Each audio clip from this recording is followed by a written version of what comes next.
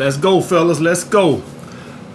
So today we're here to talk about how to not catch feelings. All right, and basically this is how to not, you know, get attached to a woman and shit like this right here. Because guys, when you're going out here and you dating these nines and tens, and especially if they're feminine or your masculine energy is put keeping them in a feminine, you have a tendency to catch feelings, all right? And so this is the thing, guys. This is what's going to keep you from catching feelings. All right, so first let's talk about what gets a woman to catch feelings, all right? So let's talk about what gets her attached.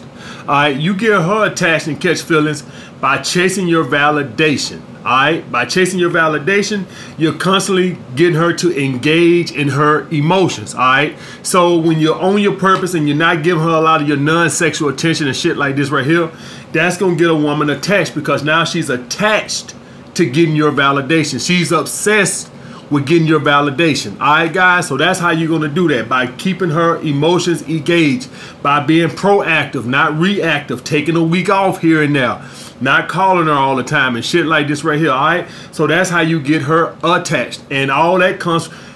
And, and first, before you even go to that, to making her want to chase your validation, you got to get her to like you, to want to chase it. It's got to be something worth chasing. She ain't going to just chase your validation for the hell of chasing your validation like you God Almighty. So that means that when you're with her, she's intoxicated with your masculine energy, your seductive uh, mode, all that type of thing. All right, the way you're in, all that. So when she's with you, she's intoxicated with it. That when, when you're not with her, she needs it again. She needs some more of that masculine energy. She needs some more of that seduction. All right. So when you're not with her and you're on your purpose and shit like that, she need another fix. She need another hit. I need to get another hit of that masculine energy. All right. The way that motherfucker talked to me, the way he look at me, I need to get another hit of it. I need to get my fix. All right. It's like heroin. All right. So that's why that you got to make sure you're doing all those things right to where she even wants to get your validation. All right. But let's hypothetically say you're doing all the things right and she's chasing your validation. All right. So how do we get attached? All right. We get attached through bonding. All right. When you spend time with a woman and shit like this right here, you gonna start to bond with her. You gonna start to want to spend more time with her. The, the, her soft touch, her boobs on your shoulder, her head laying on your lap and shit like that right there, guys. All right. So we get attached to spending time with women. Now just notice what the fuck I just said.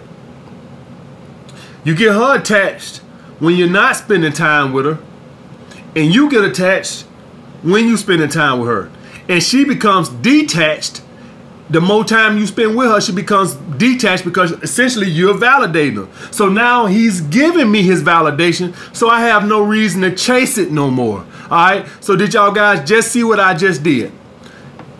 When you're making her chase your validation by not spending a lot of time with her, by being proactive, by taking weeks off and stuff like that, she's attached. She's attached to chasing your validation. You get attached when you're spending time with her, and she becomes detached because you spend a lot of time with her, is giving her your validation. Even if you're not saying compliments and shit like that, the fact that you're with me and spending time with me is all the validation I need. You don't gotta tell me my hair look good, and you don't gotta tell me I'm pretty today. The fact that your ass sitting over here on my couch is all the validation I need.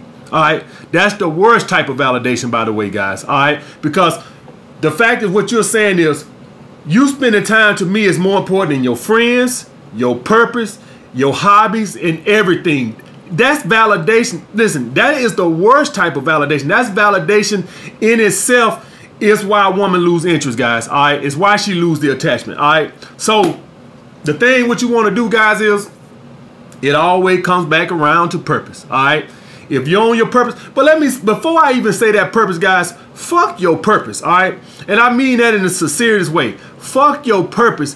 When you round this fucking woman, if you don't know how to get her intoxicated with you, she don't give a fuck you working on your purpose. You can work on your purpose in your fucking sleep for all she care. All right. The fact that you're on your purpose only matters, guys, is if when she's with you, she can't get enough of you. All right. So for all you guys that don't want to be in your masculine frame and don't want to work on your seduction and all that type of stuff right there, you could be on your fucking purpose 24 fucking hours out the fucking day.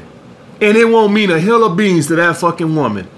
It's when you round her, you get her intoxicated with you, and now that you're working on your purpose.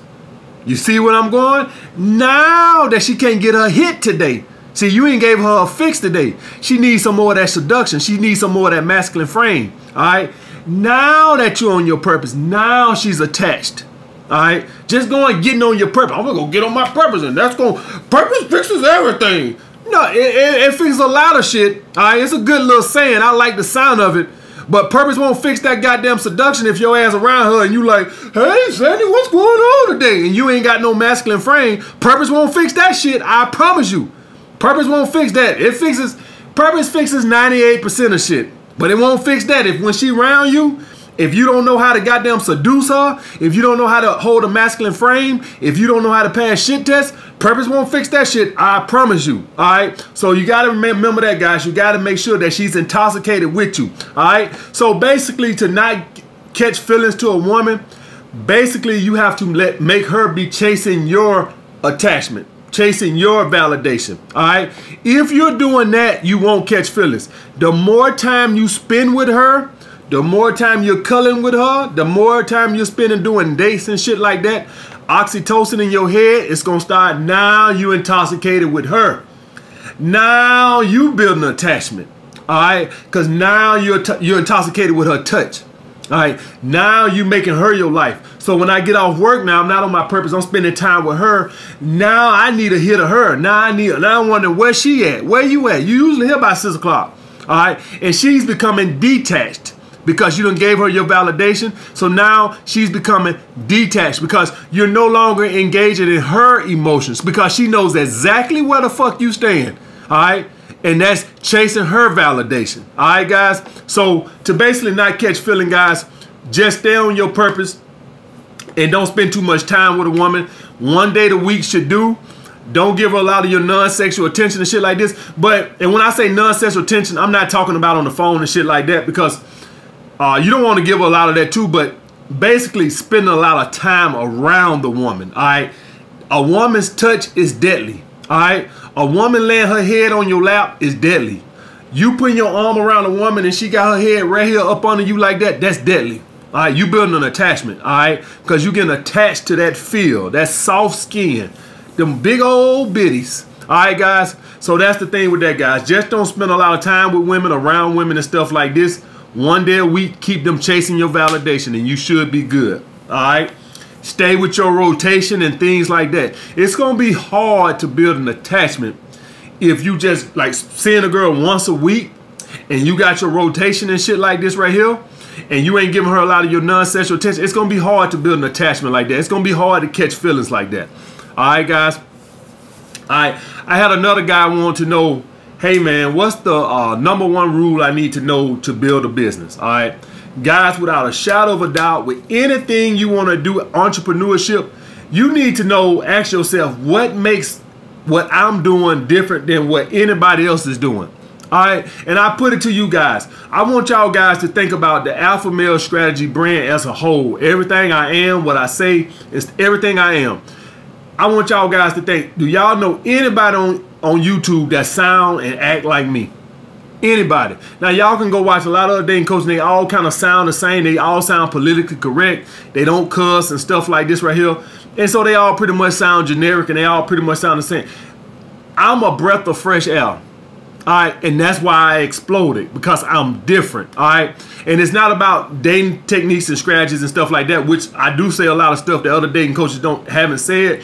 But it's not even about that. It's just my whole presentation, all right, is different, all right? And so that's the number one thing y'all guys need to understand about any business. What makes you different? If you guys gonna start a YouTube channel and you wanna talk about uh, fitness or whatever, what makes you different from the Hodge twins and Chris Jones and, and Furious Pete and all these other guys? What makes you different? All right. If you want to start a dating channel and shit like this with him, what's gonna make you different? If you're gonna get on the dating channel, you're gonna sound like every other dating coach on there, then it won't take off, guys. You have to be unique. All right. In anything you fucking do, it has to be fucking unique.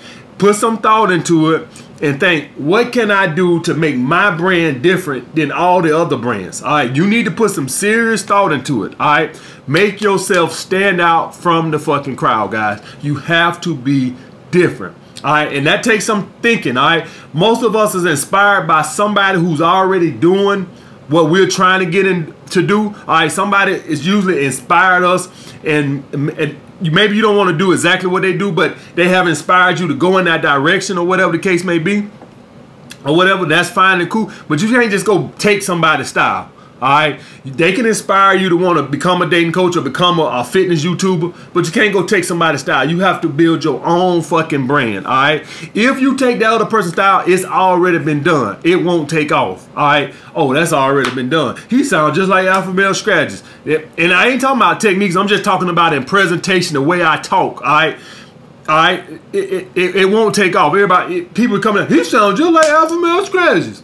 Ain't nobody gonna listen to your ass if you're doing exactly what somebody else already done. All right, be unique, and all you guys who own your purpose, put your purpose as in something that can be unique. How can I stand out different from what everybody else is doing? All right, that's the number one rule in business. You won't succeed if you're not unique. All right, and pretty much everything has been done, guys. Just think of presentation. All right, just think of presentation. Unless you just creating a whole new fucking product or something like that. But pretty much everything. If you're gonna start a YouTube channel, pretty much everything has been done. But you just need to focus on presentation or something like that, guys. All right, guys. But getting back to the first topic, how you know catch feelings, guys. If you're too busy making her build an attachment chase your validation, you won't catch feelings. All right. If you give her your validation and you start spending a lot of time with her, not only is you gonna catch our feelings, but she's gonna lose feelings. All right, it'll be one thing, guys, if I can sit up here and tell you, okay, if you're gonna build an attachment, at least the woman gonna stay feeling the same, and so y'all will be happily married ever after. But that ain't the way it worked. When you start giving her that attention, she start going the other fucking way. All right. So that's why it's critical for you to be making her chase your validation. All right. So that's the way that works, guys. Not only is it going to keep you from catching feelings, but it's going to keep her engaged and chasing for your affection. All right, guys. Like the video. Comment down below what you guys want to see next. Y'all guys been coming up with some good video suggestions. I appreciate it. Like, comment, subscribe. Holla back.